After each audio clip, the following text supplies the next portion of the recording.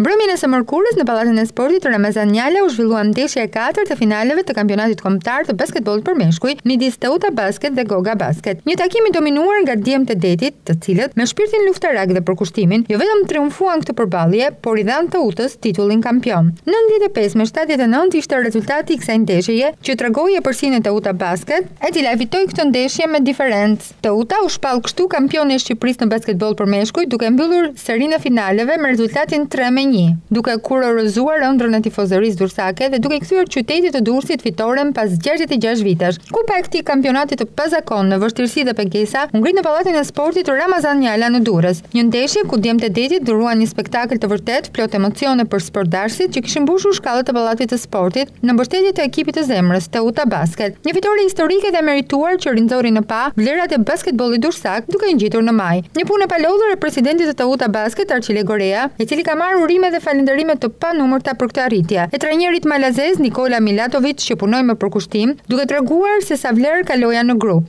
Një ekip që punoi si një i vetëm, me shpirt luftarak, që nuk u dorëzua në asnjë çast, por triumfoi duke u bërë pjesë e historisë. Djemtë e detit ia dolën. Një tifozëri që mbështeti pa u lodhur ekipin, duke u shndërruar në lojtarin numër gjashtë të Teuta Basket. Edhe stafi i televizionit Adrianet i uron Djemtë e detit për këtë fitore historike dhe të merituar, duke kurorëzuar me dopjetë një sezon perfekt, pasi disa javë më parë, Teuta Basket kishte fituar edhe Kupën e Republikës.